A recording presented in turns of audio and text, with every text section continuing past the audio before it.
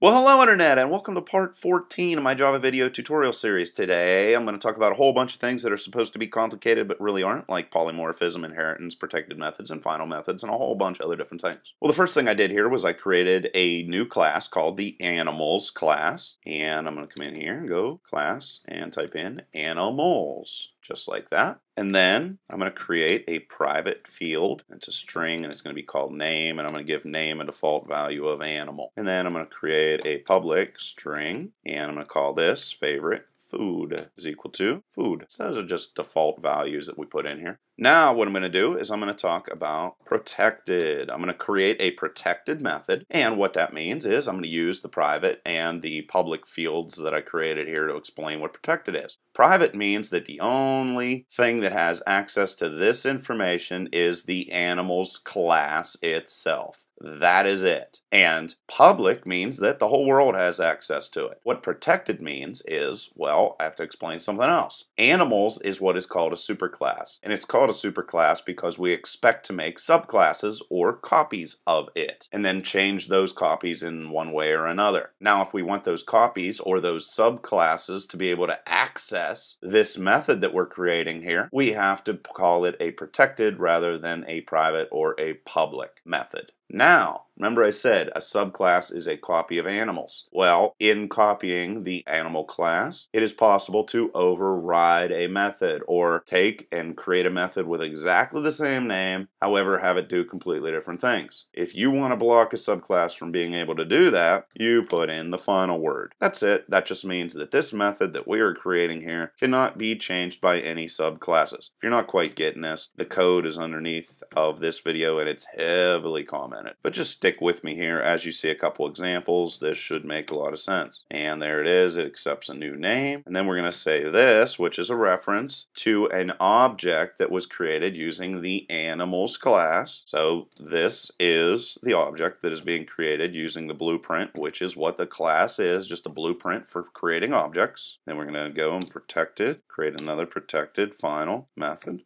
and this guy's going to return a string. So we're just going to say return this name. Then we're going to create another method, public void. It doesn't return anything. Call it eat stuff because it probably makes sense for our animal to be able to eat. And this guy is just going to print out the word yum followed by fave food. That's all it's going to do. And then I'm going to create another one, public void walk around. It's not going to receive any attributes. And then what this guy's going to do, this is actually going to be a method that we're going to overwrite. It's going to go this name plus walks around. Real simple. Then we're going to create a constructor. This is just a generic constructor for the animals class. And then we're going to create a more complicated one animals, string, name, string, favorite, food. And this guy's going to go this, change name, name is passed to it, and this dot favorite food is equal to favorite food. And everything's been saved there, and that is the end of the animals class. So now what we're going to do is create a subclass or a copy of the animal class, and it's going to be called cat. And how you do that is just go same sort of thing, except we're going to go cats, and we're going to go extends animal. And that just means I want to copy all of the methods and all the fields that are defined in the animal class. And this is referred to as inheritance. Why? Because the cats class is going to inherit all the methods and fields defined inside of animal. That's it. Now what we can do is we can add some new fields inside of the class named cats. Let's say it has a favorite toy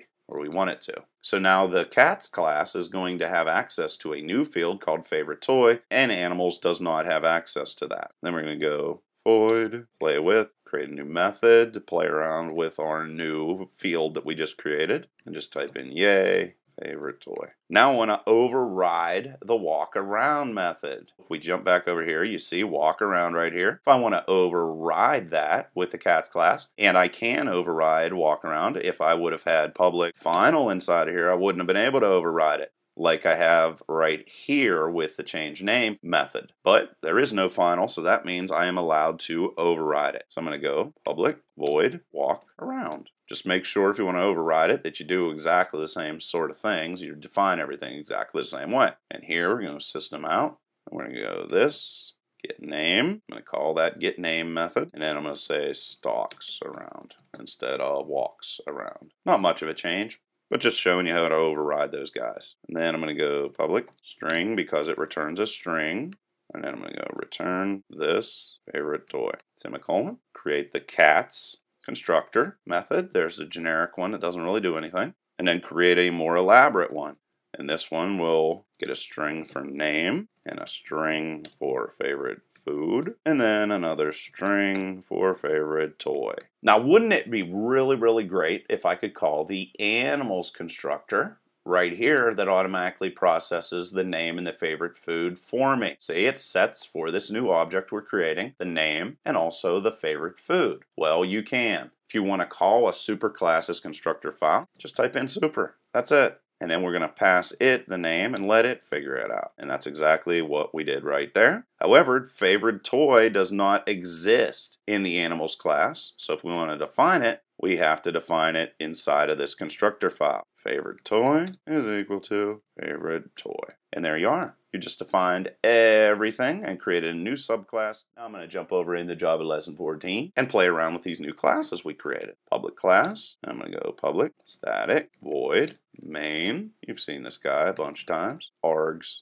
and now I'm going to come in here and start creating a bunch of different objects. So let's create an animal object, animals, generic, animal, and you create these objects just in the same way we've created all our other objects. And there you are, I just created a new animal object. Of course, make sure these match up. Now, if I want to output some information to the screen, remember every animal gets generic information assigned to it. So I can come in here and do a generic animal called the get name method. And then we can also go generic animal, favorite food.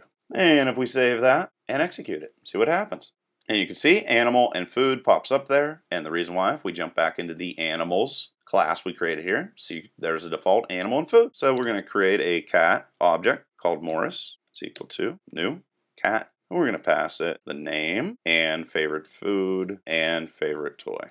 Just make sure this is cats and that's cats. And there you go. You just created a new cats object. Now if we want to execute or print out some information about Morris, very simple. Get name. So that's going to get me Morris's name. That's going to get me Morris's favorite food. And that's going to get me Morris's favorite toy. Throw that in there so there's a new line dividing this up. You can see Morris, tuna, rubber mouse, all printed out on the screen. Again, very understandable, very easy to understand here. Now we're going to do something a little bit more crazy. I'm going to create an animal object named Tabby. However, I'm going to define it as a cat. No problem because every cat is an animal, so this is totally possible to do this. However, not every animal is a cat. You've probably heard that phrase before if you've heard object-oriented programming being explained. There we are. Just created a new animal object named Tabby, but it's really a cat. Well, now what we're going to do is pass this new animal object named Tabby, and this is how you pass an object inside of Java. File save it. Now I need to come down here and create accept animal, do some things with it.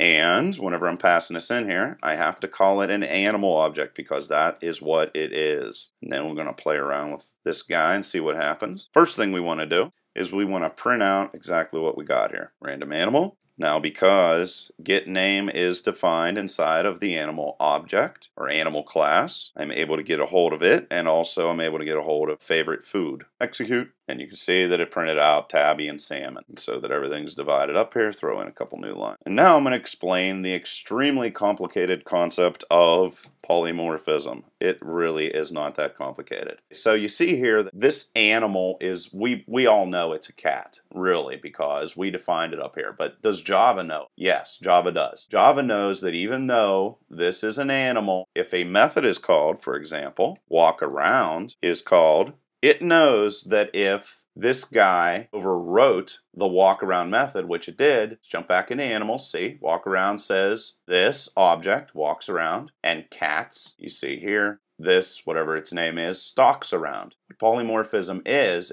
it says whenever an object is passed or a method is called for a specific object, Java's interpreter is smart enough to say, okay, is this really an animal? Yes, it is. However, is it also a subclass of an animal? Yes, it is. It's a cat. Well, if it really is a cat, is there a walk around method defined inside of the cat class? If so, use that new method instead of using the animal walk around method. And as you see here, it's going to do just that. And as you can see here, tabby stalks around, gets printed out to the screen because Java is smart enough to know that random animal is really a cat. That is all polymorphism is. Everybody tries to make it more complicated than that, but that's really what it is. However, the interpreter is not smart enough to be able to locate methods, for example, or fields, for example, that didn't exist inside of animal. So, for example, let's go in here and create something. Let's go random animal, and let's say we want to have access to favorite toy, which is a field that exists inside of this guy. See, there's favorite toy. That's inside the cats class. However, favorite toy does not exist in the animals class. So whenever we call this, and this is going to trigger an error, Java says unresolved compilation problem, favorite toy cannot be resolved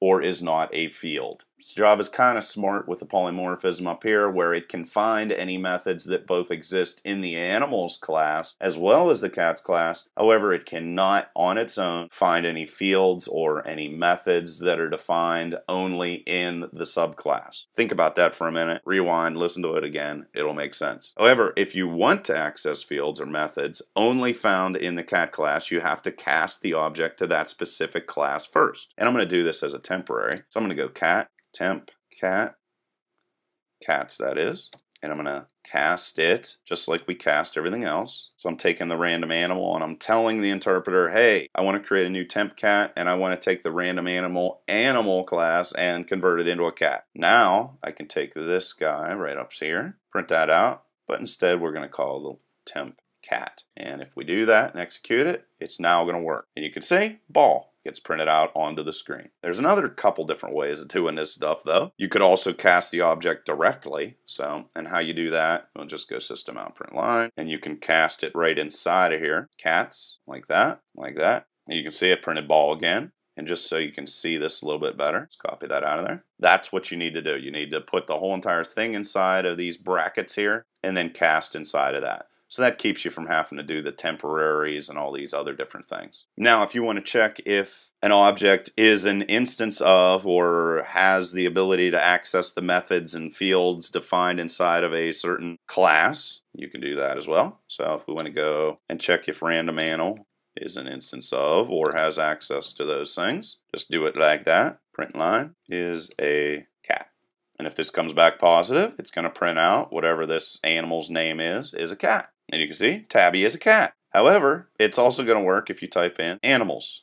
Because guess what? Not only is Tabby a cat, but Tabby is also an animal. And you can see there. So there's a whole bunch of different things about Java and object-oriented programming. Leave any questions or comments below if I didn't make anything 100% clear. But if you go download this code and it's free and all that stuff, it should be 100% understandable to you.